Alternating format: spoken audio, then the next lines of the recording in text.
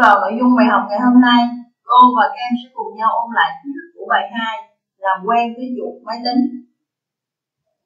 Thì chuột máy tính là một công cụ giúp chúng ta điều khiển và làm việc được với máy tính.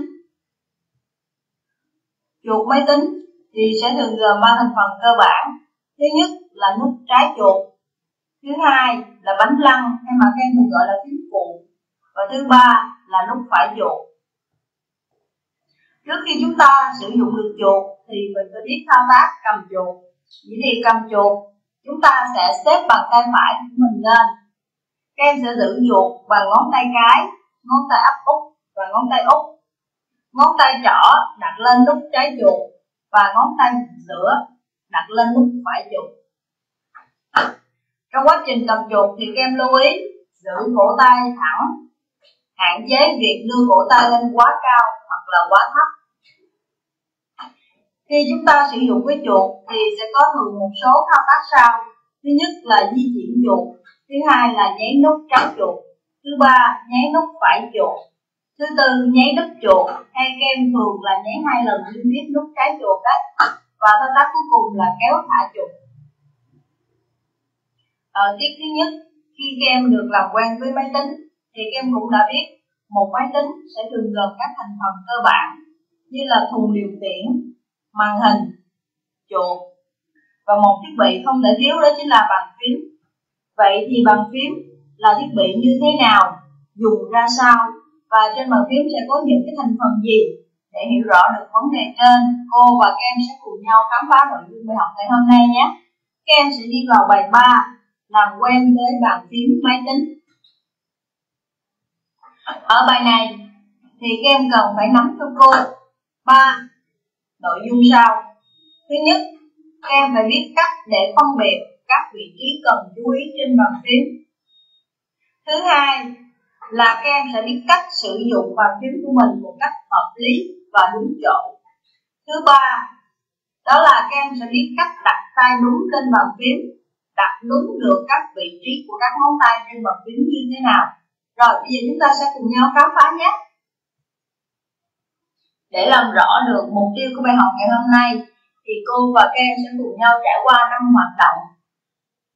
Hoạt động thứ nhất, chúng ta sẽ cùng tìm hiểu về bàn phím. Xem xem trên bàn phím sẽ có những phím gì và chức năng của những phím đó giúp các em được điều gì. Hoạt động 2, chúng ta sẽ tìm hiểu về cách đặt tay trên bàn phím máy tính là đặt như thế nào cho hợp lý, cho đúng chỗ. Hoạt động số 3, các em sẽ cùng tìm hiểu về vị trí của các ngón tay trên bàn phím.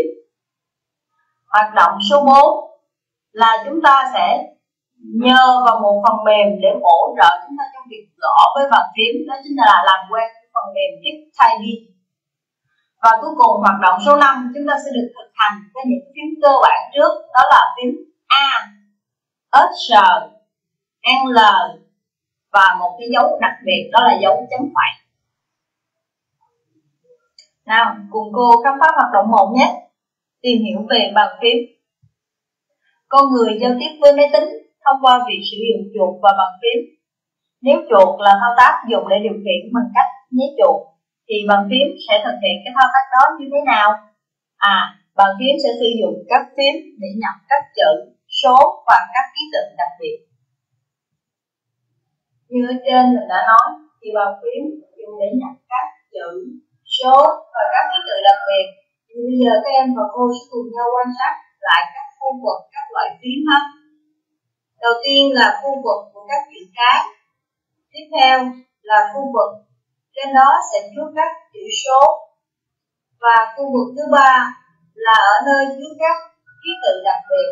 Ví dụ như là dấu phẩy, dấu chấm chấm hỏi, mở ngoặc, vuông ngoặc vuông vân vân.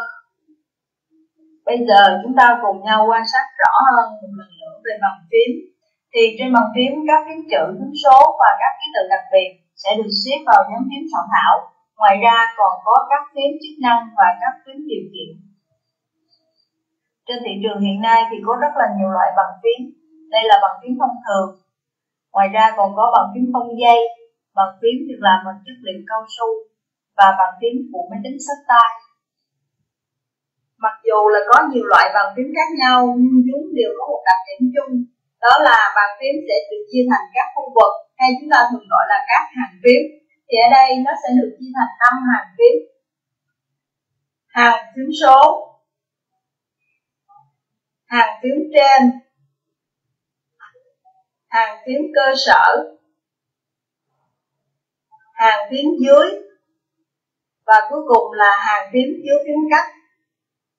Thì ở đây các em lưu ý cho cô một chỗ, các em sẽ nhìn vào hàng phím được khoanh đỏ, đó chính là hàng phím cơ sở.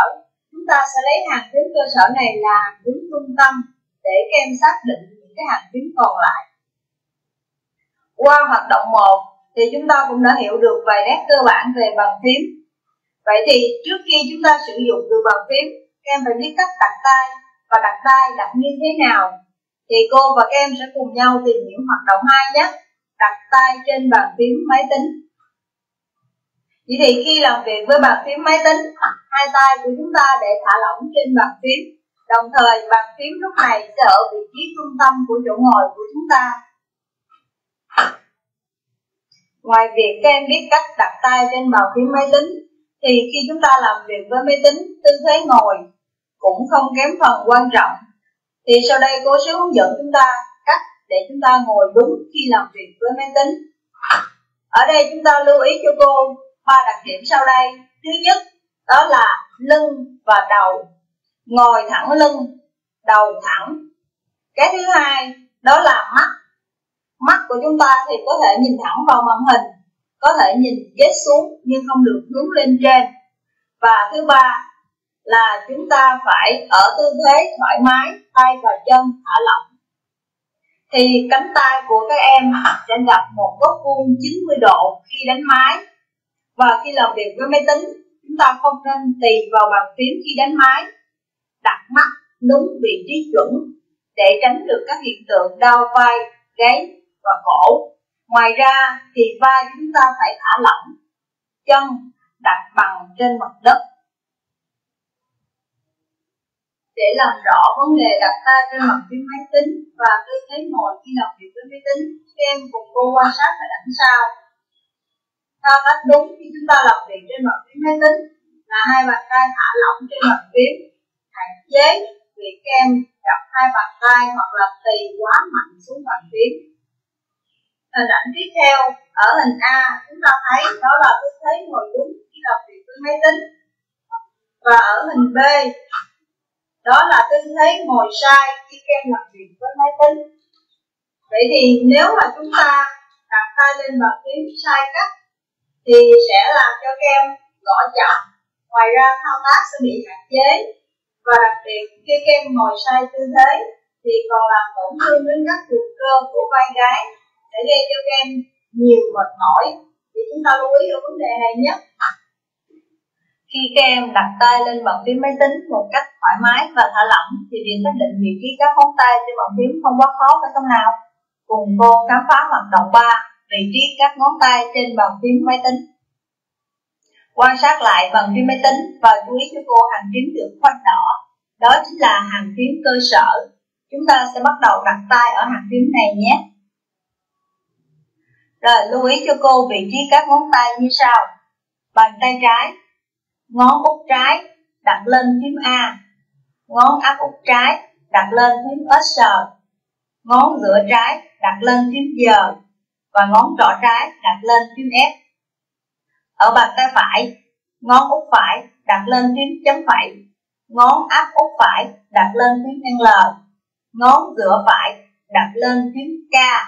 Và ngón trỏ phải đặt lên phím G. Hai ngón cái sẽ đặt lên phím cắt.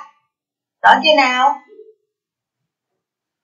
Sau khi chúng ta biết cách đặt tay và xác định được vị trí của các ngón tay trên bàn phím, thì sau đây cô sẽ hướng dẫn chúng ta một cái phần mềm sẽ hỗ trợ các em trong việc gõ với bàn phím. Đó là phần mềm Tick Typing. Thì ở phần mềm này, chúng ta sẽ khởi động phần mềm Tick Typing sau đó chọn OK. Các em sẽ được thấy cửa sổ làm việc đầu tiên của phần mềm, gọi là Main Menu.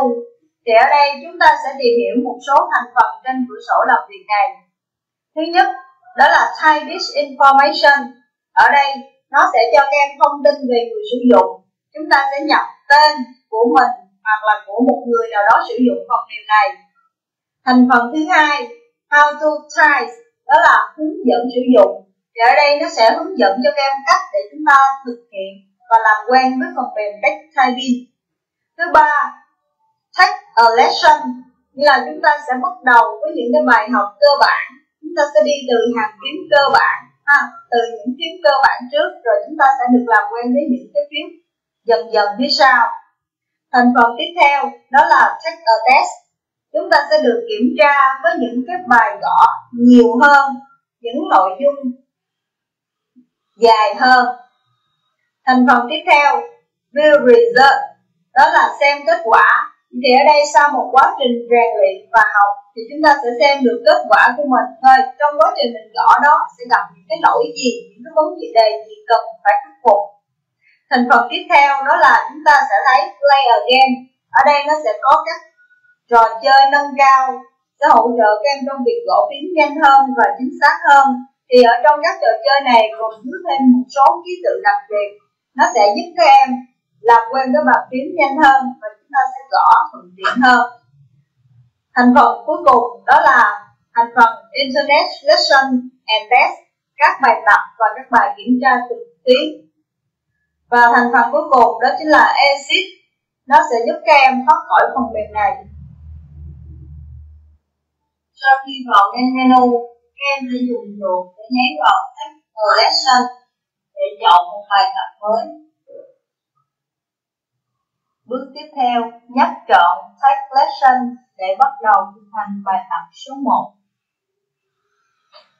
Sau khi nhấp chọn Take Lesson để bắt đầu thực hành bài tập số 1, thì ở đây chúng ta sẽ thấy cửa sổ làm việc đầu tiên của bài thực hành số 1. Các em sẽ được thực hành với bốn phím cơ bản A, S, L và dấu ký tự đặc biệt chấm phẩy rồi bây giờ cô sẽ nhắc lại vị trí đặt các ngón tay trên hàng phím này nhé. Bàn tay trái, ngón út trái đặt lên phím A, ngón áp út trái đặt lên phím S. Ở bên bàn tay phải, ngón út phải đặt lên tiếng chấm phẩy, ngón áp út phải đặt lên tiếng L và hai ngón cái đặt lên tiếng cắt. Thì sau khi chúng ta đã xác định được vị trí của các phím để đặt các ngón tay rồi, thì các em sẽ dùng chuột nhấp chọn star Lesson để chúng ta bắt đầu bài tập. Xuất phát nào!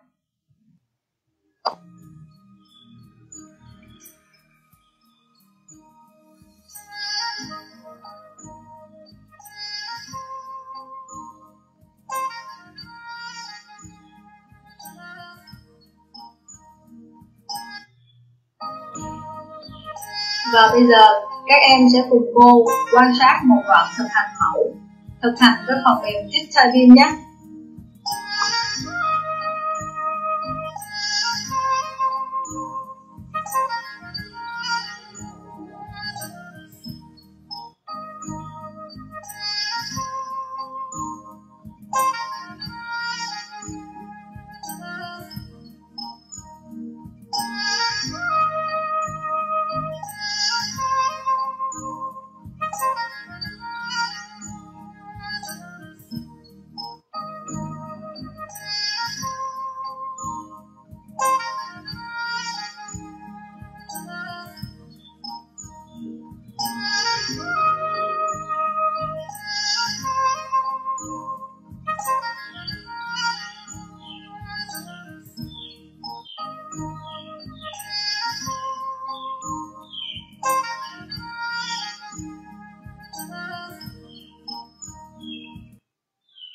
Để cô đọc lại những kiến thức mà các em đã được tìm hiểu qua năm hoạt động thì các em sẽ cùng cô quan sát lại sơ đồ sau đây. Chúng ta làm quen với bàn phím máy tính thì trước tiên phải hiểu được bàn phím như thế nào và có tác dụng ra sao. Thì ở đây bàn phím là một cái công cụ giúp các em nhập được các chữ, số và các ký tự đặc biệt vào trong máy tính. Thì nó gồm rất là nhiều loại phím ở trên đó sẽ bao gồm những phím chữ phím số, các ký tự đặc biệt thì chúng ta sẽ gọi chung đó là nhóm phím soạn thảo. Ngoài ra, nó còn có các phím điều khiển và các phím chức năng. Thì hiện nay, có rất là nhiều loại bàn phím, nhưng chúng đều có chung một đặc điểm. Đó là bàn phím sẽ chia thành rất là nhiều khu vực, hay chúng ta còn gọi là những hàng phím. Thì sẽ bao gồm 5 hàng phím đó là hàng phím số, hàng phím trên, hàng phím cơ sở, hàng phím dưới và hàng phím chứa phím cách thì ở đây các em lưu ý cho cô, chúng ta sẽ lấy hàng phím cơ sở làm trung tâm để chúng ta xác định được những hàng phím còn lại. Cái thứ hai, khi sử dụng được bàn phím thì điều đầu tiên các em phải biết cách đặt tay lên bàn phím và biết cách đặt những vị trí các ngón tay đặt như thế nào để khi chúng ta làm việc được linh hoạt hơn, được thành thạo hơn khi sử dụng bàn phím. Thì lúc này bàn phím của các em sẽ được đặt ở vị trí trung tâm của chỗ ngồi chúng ta, hai tay mình để thả lỏng trên bàn phím, tránh việc ghi tay quá mạnh vào bàn phím. Khi chúng ta đặt tay lên bàn phím thì vị trí của các ngón tay chúng ta sẽ đặt ở hàng phím cơ sở. Trên hàng phím cơ sở này sẽ có hai phím có gai là phím F và G. Chúng ta sẽ đặt ở hai ngón trỏ trái và ngón trỏ phải. Sau đó chúng ta sẽ dàn ra cho những ngón còn lại.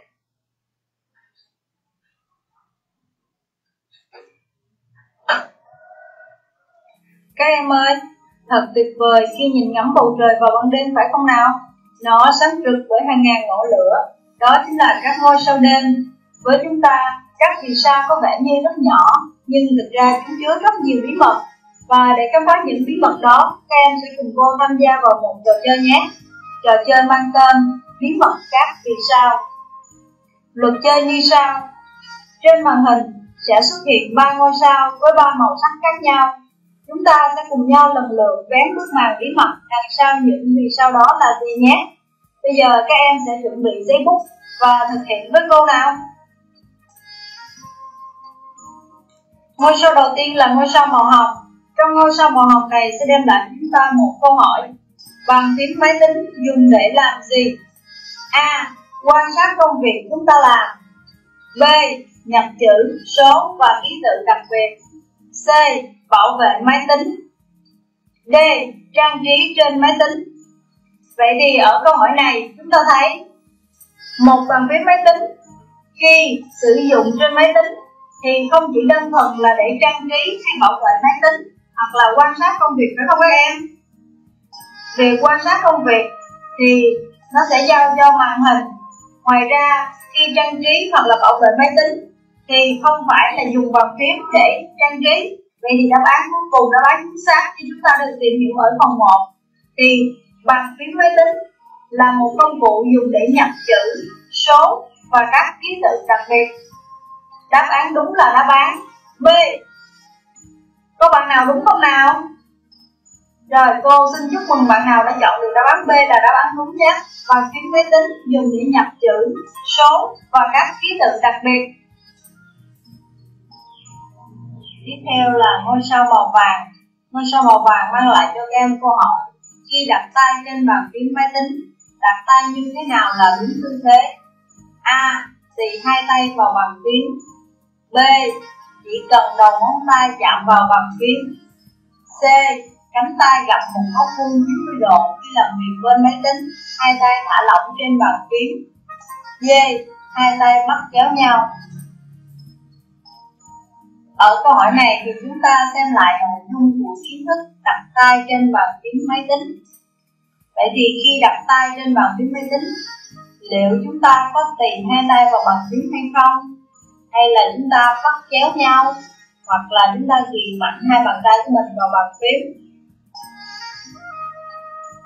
À, khi mà chúng ta đặt tay lên bàn phím máy tính thì em lưu ý với cô là bàn phím của mình sẽ ở vị trí trung tâm của chỗ ngồi hai tay của chúng ta sẽ thả lỏng trên bàn phím lúc này nắm tay của mình sẽ gặp với bàn làm việc của mình một góc vuông 90 độ nhé vậy thì đáp án chính xác của câu này là đáp án C Xin chúc mừng bạn nào có đáp án C.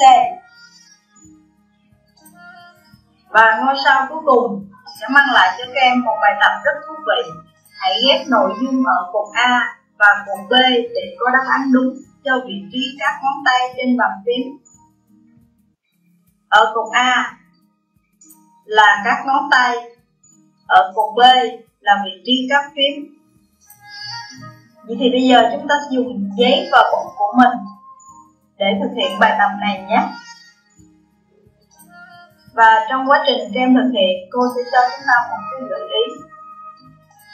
Đó là chúng ta sẽ nhớ lại nội dung của hoạt động số 3 vị trí của các ngón tay trên bàn phím máy tính. Thì ở đây, vị trí của các ngón tay trên bàn phím máy tính, chúng ta sẽ đặt hai bàn tay của mình thả lỏng và đặt ở trên hàng phím cơ sở. Trên hàng phím cơ sở sẽ có hai phím cố dai là phím F và G là nơi để đặt hai ngón trỏ trái và phải. Vậy thì chúng ta sẽ căn cứ vào hai ngón trỏ trái và phải này để chúng ta dàn những ngón tay còn lại. Thế thì lúc này các em đã có đáp án rồi phải không nào? Vậy thì chúng ta sẽ thấy, lúc này ngón út trái của mình mình đặt lên phím A.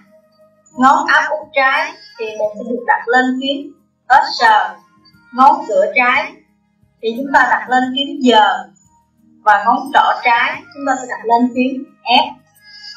Vậy thì còn lại ở bàn tay phải, ngón út phải chúng ta sẽ đặt lên phím, chấm phẩy ngón áp út phải, đặt lên phím L. Ngón giữa phải, đặt lên phím K. Và cuối cùng ngón trỏ phải, chúng ta sẽ đặt lên phím gì được chưa nào? Chúng ta cùng nhau kiểm tra đáp án nhé. Bây giờ các em sẽ kiểm tra và dò lại đáp án của mình với đáp án của cô vậy thì cô chúc mừng bạn nào có đáp án trùng khớp với đáp án của cô nhé